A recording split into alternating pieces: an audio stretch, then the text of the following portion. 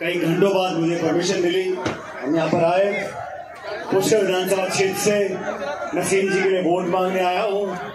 आप जानते हो।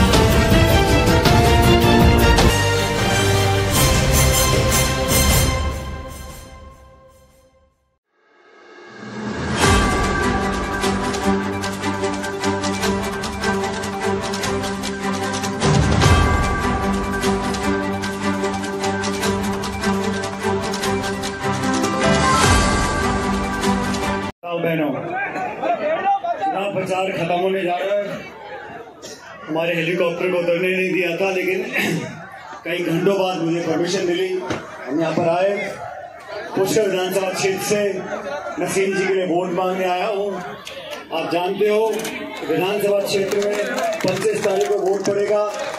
मैं बिल्कुल शॉर्ट में सिर्फ़ अपनी हाजिर लगाने के लिए आया हूँ।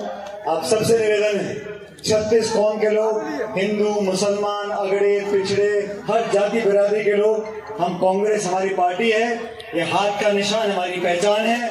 मेरे साथ जोरदार देना जाँच पे ना पात पे और लगेगी। जाँच पे ना पात पे और आप सबसे निवेदन 25 तारीख को सुबह सुबह बटन दबाकर नसीम जी को चुनाव जिताओ, कांग्रेस पार्टी को मज़बूत करो और मैं दावे से कह सकता हूँ इस क्षेत्र में जो कांग्रेस के मतदाता और कार्यकर्ता है वो एक परिवार की तरह रहेंगे। किसी का कोई मन मुटाव भी है थोड़ा बहुत टिकट आके चलती है अगर मन मुटाव है उसे भूलो माफ़ करो आगे बढ़ो हाथ का बटन दबाओ और कांग्रेस पार्टी को जिताओ। कांग्रेस पार्टी। मज़ा नहीं आया। कांग्रेस पार्टी ये चुनाव प्रचार की आखिरी सभा है। आखिरी सभा में आखिरी नारा है। देवराज पुष्कर की धरती पर गंगा जमुना तहजीब का ये उदाहरण है। नारा देना ताकि मज़ा आए नारा देने में ठीक है? कांग्रेस पार्टी आपका लास्ट दिन था सचिन पायलट जी आए भागते हुए और भागते हुए गए। सबसे पहले तो मैं पायलट साहब के आभारी हूँ। कि पाँच छः घंटे से उनके हेलीकॉप्टर को उड़ने नहीं दिया गया और वो परमिशन नहीं मिली। और परमिशन जब मिली तो उन्होंने बांधनवाड़ा की सभा को संबोधित किया और पुष्कर की धरती पर वो पधारे। जगत पिता ब्रह्मा की नगरी तीर्थराज पुष्कर का चुनाव है, उसे मुझे उम्मीदवार के रूप में पुष्कर की जनता भी आशीर्वाद देने पधारी और पायलट साहब ने इतने बिज़ी शेड्यूल में से अपना समय निकाल कर मुझे आशीर्वाद देने पधारे। मैं दिल की गहराई से उनका शुक्रिया अदा करती हूँ के और पुष्कर की जनता की तरफ़ से भी उनका आभार व्यक्त करती हूँ। कि आप पधार कर मुझे आशीर्वाद देने आए? सात घंटे तक लोग यहाँ पे पायलट साहब इंतज़ार अरे तो ये तो ये तो चाह ही नहीं रहते आए पायलट साहब पर इनको करारा जवाब पायलट साहब ने दिया। अजमेर में आकर सभा को संबोधित कर कर जनता को संबोधित करके भी गए। मैडम 25 तारीख को अच्छा मतदान हो, इसके लिए आप जनता से मतदान को लेकर क्या अपील करते हैं? मैं सभी पुष्कराज के मतदाताओं को अपील करना चाहूँगी, हमारे छत्तीस कौम और छत्तीस वर्ग के मतदाताओं को अपील करना चाहूँगी, आप कांग्रेस के विकास को वोट दें। नसीम अख्तर छत्तीस कौम और छत्तीस वर्ग के हमेशा दुख दर्द में शामिल रही, हमेशा उनके बीच रही और हमेशा चाहे दस साल से चुनाव हारा, तब भी उनके बीच में रही। आज भी उनके बीच में हूँ और मैं तो ये कह सकती हूँ कि मेरी अंतिम सांस का खून का एक एक खतरा भी पुष्कर विधानसभा क्षेत्र के लिए समर्पित रहेगा, इस बात का मैं। और मैं एक बात कहना चाहूँगी, सभी से अपील करना चाहूँगी, हाथ जोड़ के, पुष्कर विधानसभा के मतदाताओं के अपील करना चाहूँगी, आपकी इस बहन बेटी को और छत्तीस कौम की इस बेटी को आशीर्वाद देकर राजस्थान की विधानसभा में भेजें।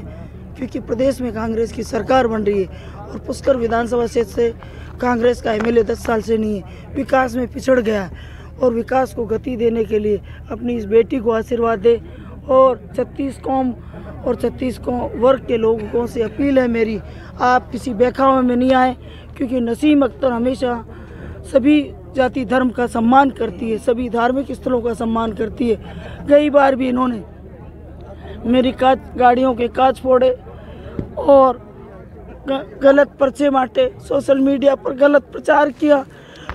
इसकी वजह से हमारा चुनाव खराब हो गया। और इस बार भी पर्चे बांटने का काम इन्होंने चालू किया और मेरी सात गाड़ियों को डंपर से कुचल दिया गया।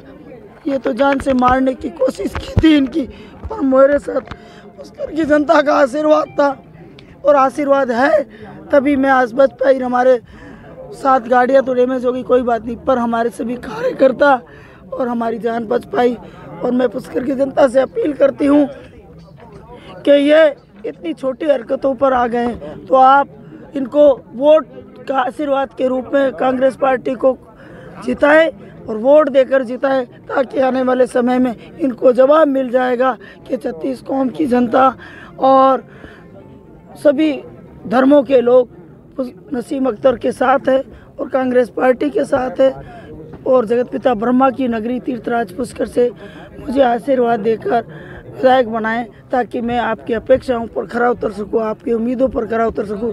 जैसे आपने 2008 में मुझे आशीर्वाद दिया। मैं अभी गाँव गाँव ढाणी ढाणी जा रही हूँ।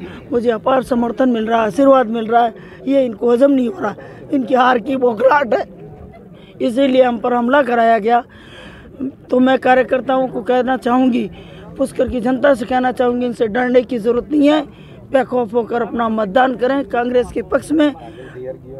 मैं आपके साथ खड़ी हूँ, आपकी बहन खड़ी है, आपकी बहन बेटी को आशीर्वाद देकर राजस्थान की विधानसभा में भेजे और मुझे आशीर्वाद प्रदान करें।